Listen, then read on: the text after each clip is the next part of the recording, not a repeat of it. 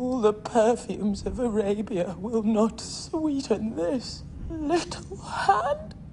So clearly Lady Macbeth has some other issues going on here, but it really got us thinking. Yeah, hauntings and witch prophecies aside, can you actually wash your hands too much?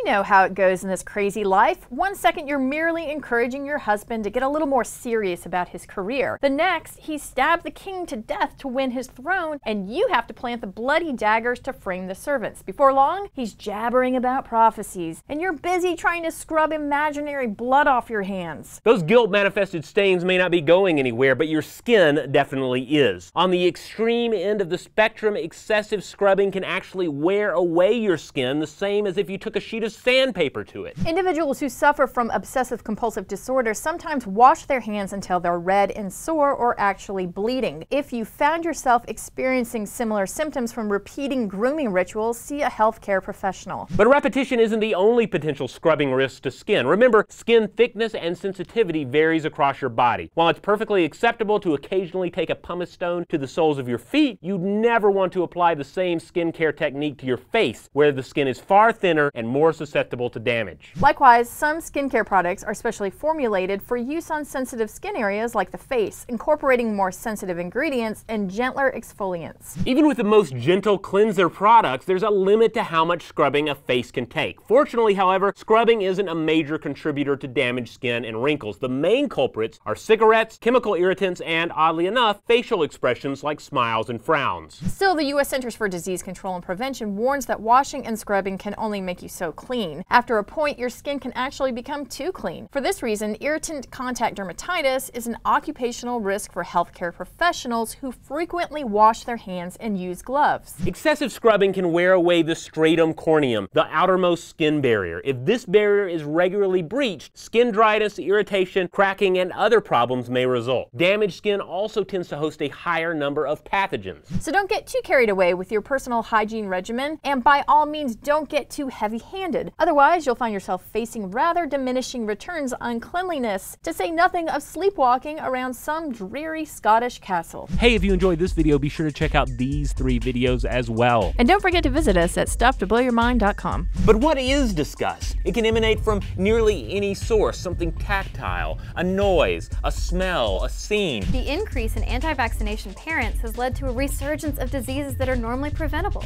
Have you ever sneezed and wondered, man, I wonder how long these germs are going to last outside of my body.